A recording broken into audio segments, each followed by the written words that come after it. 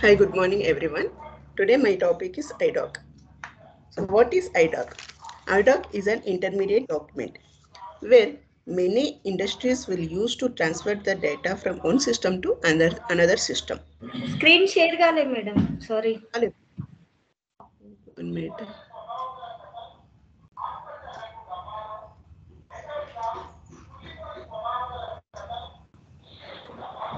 Thank you.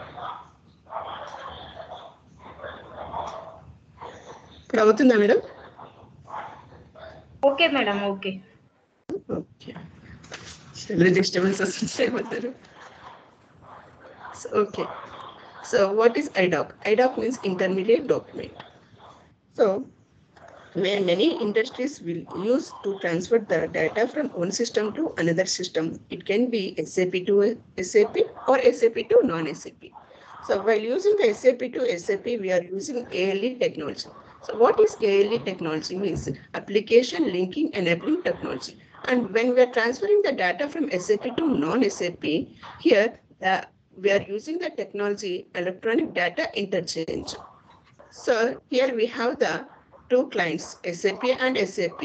So transferring the data from SAP to SAP, we are using the ALE technology. Here we have SAP to another SAP client. So here we are using the EDI system or EDI technology with the help of middleware. Here in this IDOC having two types. One is inbound document and another one is outbound document. So we have two types of flows in SAP where data will flow into SAP and other data transfer to other tool from SAP through inbound and outbound. Inbound means nothing but data is coming to SAP in the form of electronic message and coming to outbound. So what is outbound?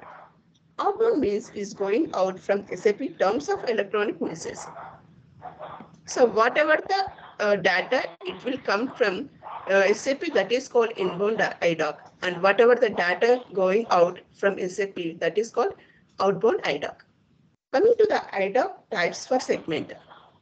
Here are two types of segments, basic type and another one is extension type. So in basic type, it sends the information. It sends the information to the receiver port as per the mapping fields done. It's called the parent segment. So whatever we're sending the data that, that is called parenting segment. So whatever the receiving the data that is called child segment. Here in this child segment, uh, we want any extra information to send uh, to receiving party, then we have this IDOC extension.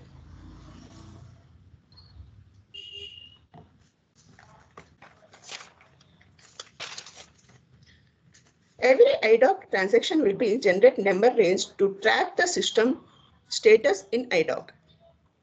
So in ALE IDOC, in ALE IDOC having the three layers. So one is application layer, distribution layer and communication layer.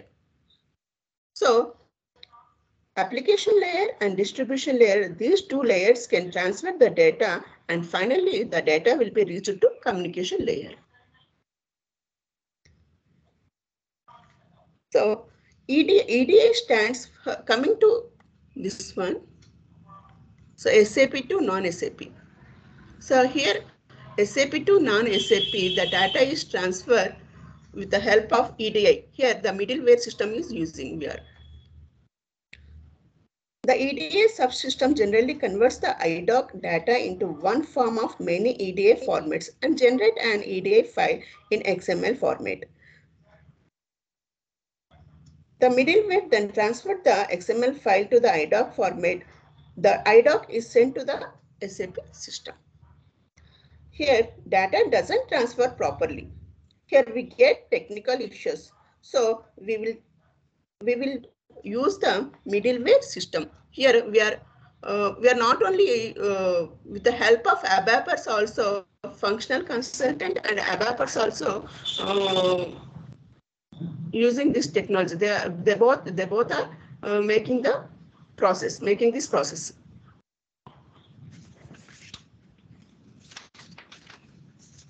If data is transferred to SAP to non-SAP, the data format is required the EDI. It acts as a data converters.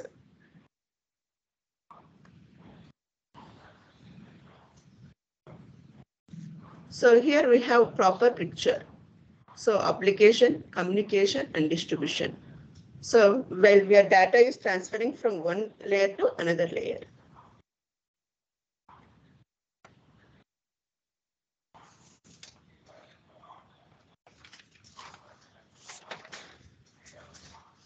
So what are the advantages of IDOC? So better business process. When we are doing the business, we are having the better process and reducing the processing time. And also have reducing the data entry errors. We are uh, reduce the entry errors. Errors, what we are getting the errors, we also reduce that. And availability of data in electronic form. So we can get the uh, data in electronic way. So reduce the invent, uh, inventories and better planning. So we can also reduce the inventories and uh, we also do planning better way.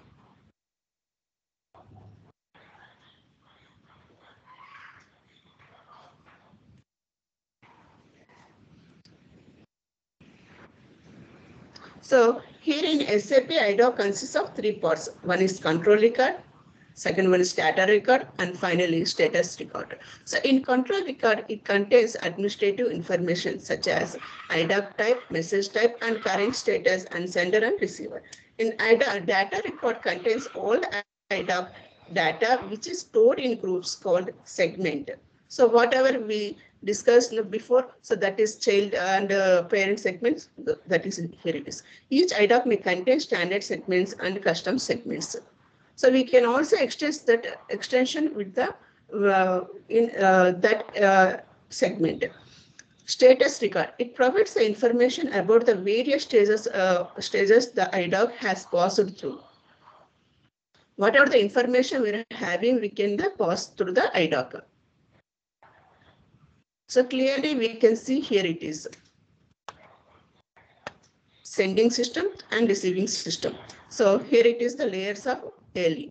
So here application, distribution and communication. So these two layers data will be passed and finally the, data will stored here it is in the receiving system. So it is the uh, these two are SAP systems. So that's why we are using here ALE technology. But coming to SAP to non-SAP, we are using the EDI. So here it is the SAP and here it is the non-SAP. So that's why we are using the EDI technology. So in this EDI technology, uh, the middleware system is involved like SAP PI, XI, SAP HCI like this. So here are the process steps are here. So outbound program, sender to database, IDOC, distribution channel. So these steps are involved in sender system and coming to receiving system, web service and database. So these two are main IDOC systems. So that's it, sir. Thank you.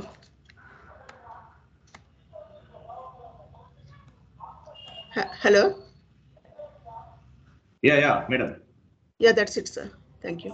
Okay very good very good బాగా చెప్పారండి excellent గా చెప్పారు బాగుంది okay so మనకి ఈ type of the communication skills and own గా